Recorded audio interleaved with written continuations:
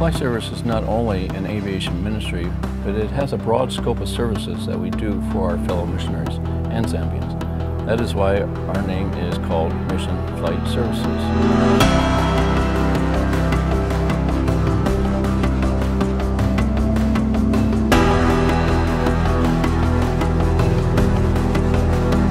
We at Kalene Mission Hospital appreciate so much the blessing of the flight service we have here. Without the flight service, we could not easily get here, live here, or leave here.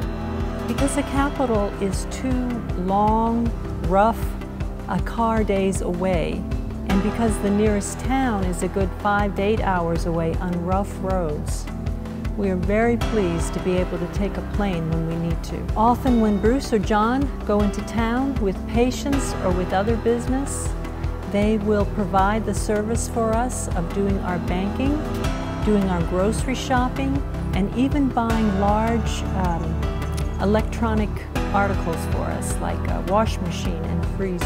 The uh, flight service here is a big help to us both in the medical part of our mission, the educational part of our mission, and the spiritual part of our mission. In addition, the flight service is involved in a number of community support projects, one being the raising of chickens for meat and eggs.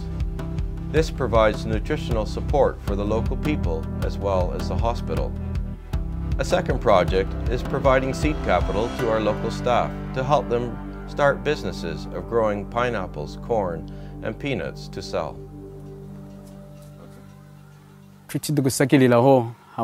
chochenichi netu una kutukwasha amafamili zethu nimuchipatirwe nokwasha yeje ilunga dethu dejima tunasakelile mwana